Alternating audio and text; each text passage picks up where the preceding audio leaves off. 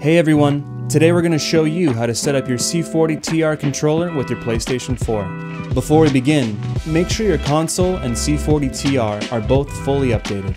For more information on how to update your controller, check out our firmware update tutorial.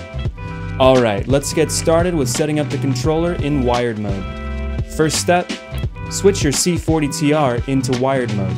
Plug the micro end of the micro USB cable into the C40 plug the USB-A end of the micro USB cable into an available USB port on your PS4.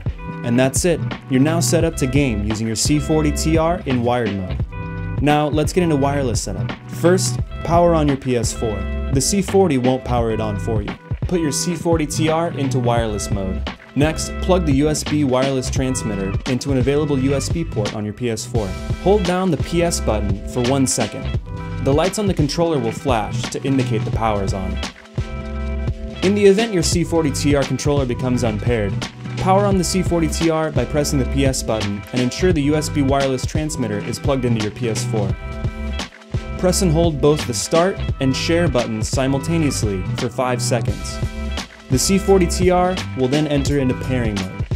The LED indicator will blink white Press and hold the LED button on the USB wireless transmitter for 5 seconds.